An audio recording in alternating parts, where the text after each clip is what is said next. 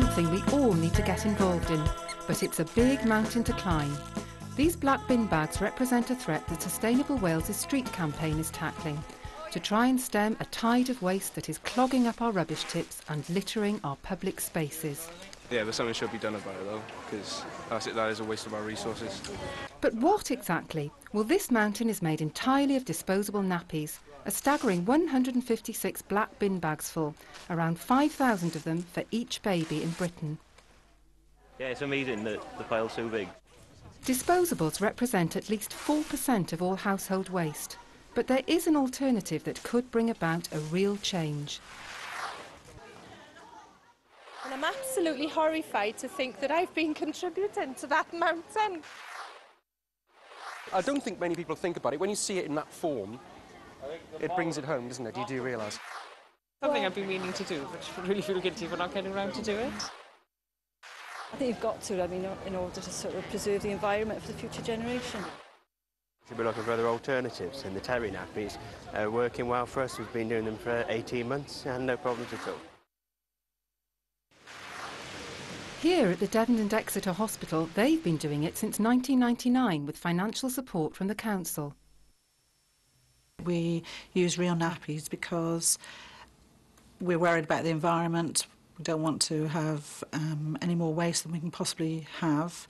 Um, a hospital generates a lot of waste, and by using real nappies, um, that will reduce some of the waste. We put one real nappy into each um, cot in the delivery room so the mum can see that we use real nappies and then they've got the choice of using them after delivery if they want to. Every new mum here gets the chance to try reusables, often for the first time, and it's free. We'll definitely consider using them. We've used disposable ones in the past and um, they haven't always been as user friendly as they might have been. They leak sometimes and they're also quite expensive. And having heard that uh, cotton ones are also more friendly for the environment and can save you a considerable amount of money in the year. I think that's that's something we need to look at as well. There can be health benefits too. The way a baby holds its hips um, is supposed to be um, an advantage of using a real nappy because with um, disposable nappies, they're um, very slim nappies. They're on the television, they're saying how easy it is to walk, but babies need to hold their hips at a, an angle. The mothers attending this playgroup need no convincing of the benefits of reusing nappies. Um, I use real nappies because of environmental reasons. Our waste tips are already overflowing. Because of the chemicals that go into disposables as well. I use real nappies because I'm hoping it should be easier to potty train. Make me quite fashionable and I like showing them off. It's always my second boy, so I can reuse them again. I use real nappies because they're cheaper and they look better. And there's plenty of scope for show-offs. And colour is just one of the key words. Convenience is another.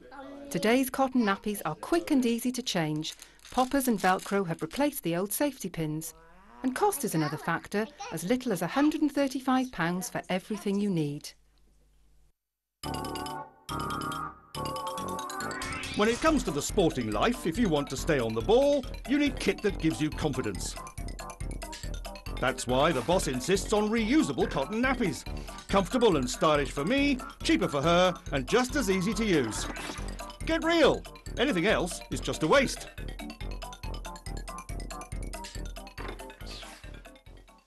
Anything else is certainly a waste of money. Using washable nappies instead of disposables could save a one-child family up to £500, more on a second or third. And with only the biodegradable liner going into the bin, the same family can cut their household waste by half. The rest goes into the washing machine, onto the line and back onto the baby. Unless, of course, even that sounds a bit too much like hard work, in which case there's help available from companies like the Gentle Touch Nappy Service. Uh, the benefits of the service are that people can actually use cotton nappies with all the convenience that disposables offer. So they can have um, collection and delivery service direct to their door. They haven't got to go out shopping for nappies. Uh, they have them delivered straight to them um, and also then they get all the environmental and health benefits of using cotton nappies.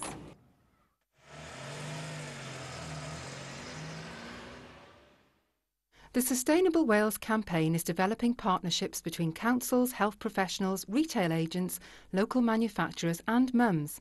Promotional activities range from leaflet distribution, presentations in antenatal groups, parenting classes, and nurseries, to setting up stalls in the street which attract public and media attention. The word is spreading. Professionals and the public are beginning to respond. In the future, I'd like to see um, partnerships coming together. That's um, the councils, health sector, and the companies. So mums are given a real informed choice. There's a real nappy week every year, and I think we should really go overboard on using real nappies and being on television.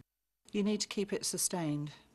Basically, it's something our children are, you know, facing the problem with now, and they'll inherit it in the future. And we don't know the long-term effects as well, because nobody does with environmental stuff.